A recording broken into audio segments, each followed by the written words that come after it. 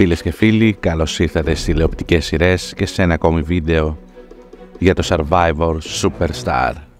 Ο Παύλος Παπαδόπουλος, ο νικητής του Power of Love 2, επιστρέφει στην τηλεοπτική σκηνή. Αυτή τη φορά συμμετέχοντας στο Survivor 2024. Σε συμφωνία με τον παραγωγό του παιχνιδιού, ο Παύλος επιλέχθηκε για την επερχόμενη σεζόν του δημοφιλούς reality επιβίωσης. Γνωστός για την καταγωγή του από τον πόντο και τον τίτλο που κέρδισε στο Power of Love, μαζί με την Άννα Ελευθερίου, ο Παπαδόπουλος επανέρχεται στην τηλεοπτική δραστηριότητα μετά από λίγα χρόνια. Τόσο το Power of Love όσο και το Survivor είναι παραγωγές του Ατζούν και προβλήθηκαν από το Sky, γεγονός που δημιουργεί μια οικία σχέση μεταξύ του Παύλου και του παραγωγού.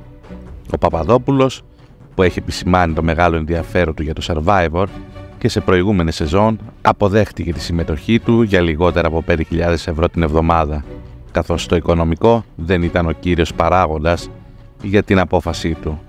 Σε ηλικία 30 ετών, ο Παπαδόπουλος έχει ήδη συναρπάσει το κοινό με τη ζωή του, καθώς έγινε πατέρας στα 17 του χρόνια και εργάζεται ως υπάλληλος ασφαλείας VIP προσώπων, ζώντας στη Χαλκιδική, όπου οι φίλοι του τον αποκαλούν Σπαρτιάτη λόγω της αγάπης του για την αρχαία Ελλάδα και το πνεύμα των Σπαριατών.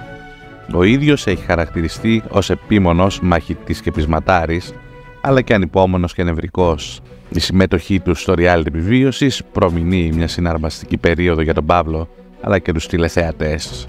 Παρ' όλα αυτά, εσείς μην ξεχάσετε να κάνετε εγγραφή στο κανάλι μας και να πατήσετε στο καμπανάκι δεξιά, έτσι ώστε να μαθαίνετε όλα τα νέα μας.